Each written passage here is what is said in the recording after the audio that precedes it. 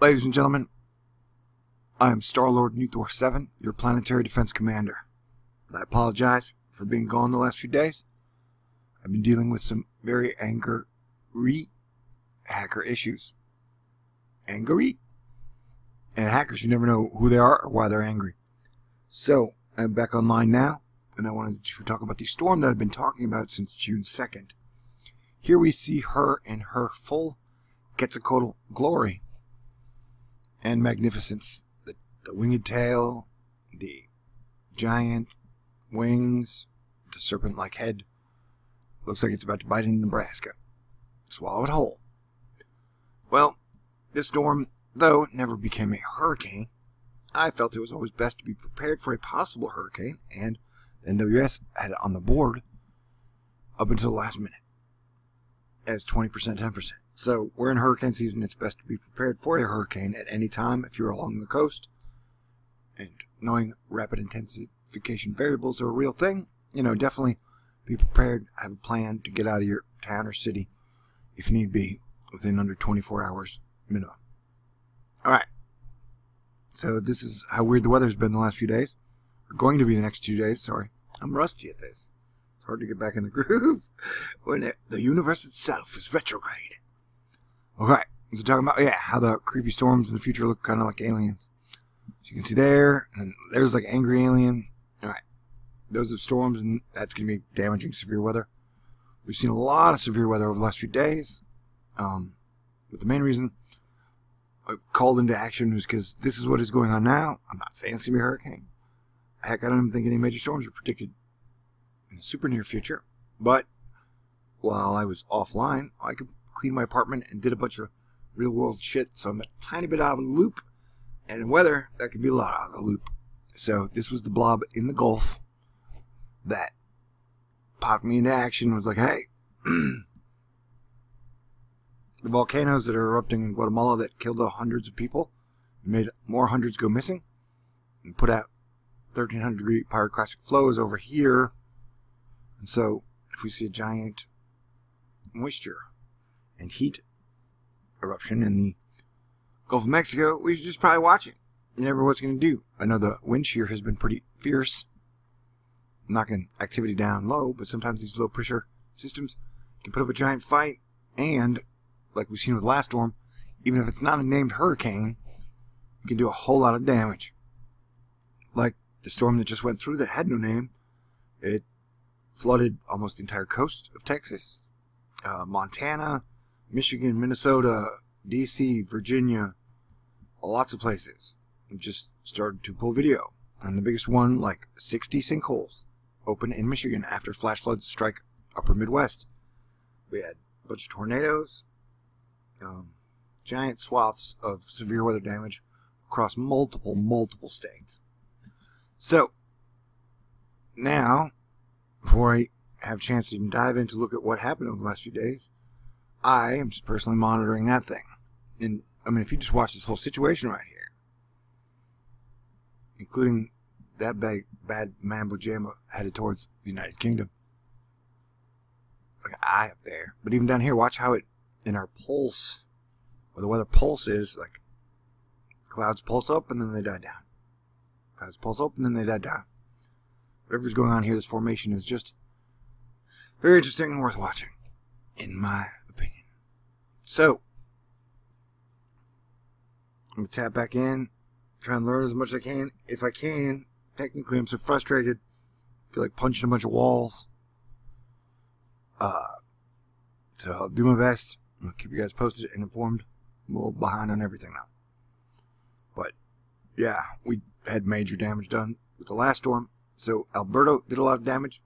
This storm has done a lot of damage, we've only we are only three weeks into hurricane season, so our infrastructure is taking a pounding for sure. Um, I hope everybody's been good. Wait, what was that? See, this is like weather over the next few days, as you can see. You're going to get more straight line winds, possible tornadoes. The and the area, the whole coast is pretty saturated, bro. You know, we're like 300, 400% rain rates in a lot of places. So, rain is heavy compared to air or dry stuff. So that'll cause a lot of problems. And so, eh, it's a good time to adapt. And that's where it's at. Happy summer, by the way. Does feel like summer. Uh, definitely, step outside. Sun is shining bright and gorgeous, as always. And you are cool, but thanks for paying attention. This is where I should shut it off. But no, I'm just going to click on buttons. Oh, let's watch this one. Sorry. Totally out of my groove. Man, shit is crazy. Just even, you know, you guys knew all the shit I had to deal with. Keep doing what I do. If I ever mention this shit's dangerous, man. This shit is dangerous. But that's cool. I have to feel like a superhero. I guess that's worth it. Who knows? Maybe I make a difference a little. There you go. Look at that. Like, look at this. This is what. And remember, the volcano action is down here. The active Gulf of Mexico volcano action is Guatemala. So just watch it puff up like like Earth is smoking the peace pipe, hoping the smoke gets to us and we calm the fudge down.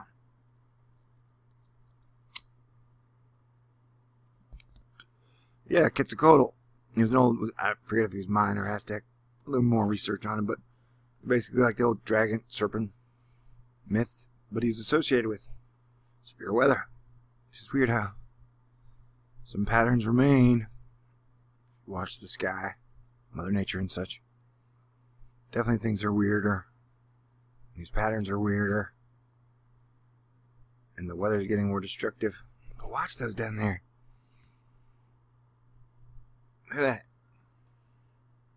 Yeah, I'm guessing all those volcanoes are heating things. You know, some, you know, I keep coming across scientists who are telling me that the volcano activity is normal. At this point, dude, that's not true. You have erupting Guatemala volcano, which is down here, which killed hundreds of people and has hundreds of people missing, has villages covered in gray pyroclastic flow lava, which is like gray mud that can get up to 1300 degrees, not the orange stuff we see in Hawaii. And Hawaii has now been pouring out over 10 miles, 13 miles of lava, new lava land, and into the ocean. Over neighborhoods, highways, roads, escape routes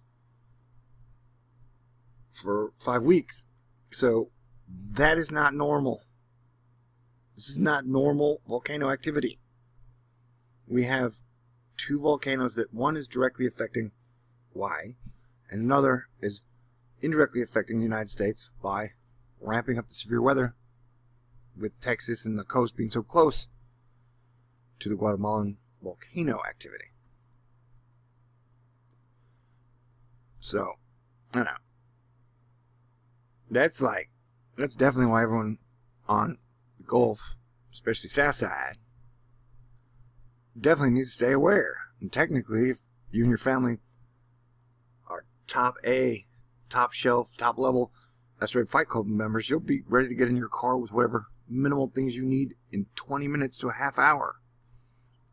Because with a major erupting volcano there, we don't know what Mother Earth's going to do. Maybe we could see a large earthquake that could cause a tsunami. You don't know. It is possible. As your planetary defense commander, sorry to tell you that, but it's true. There could be a large earthquake in Gulf of Mexico from tectonic plate movements and magma and lava activity that could eventually cause a tsunami. We don't know it been happening, but not in the Gulf, but it happened in Japan. They weren't ready. If I'm in a bad enough mood, one day I'll cut together footage of that. It's horrific. Anyway, right. Like I said, I'm rusty. Yes, hey, cool. Uh, and I love you guys, and I'm glad to be back. And yeah, the weather's crazy. But I think we're going to be okay if we can just pull our heads out of our asses. Mm, you okay? Peace out. Talk to y'all soon. God bless everyone.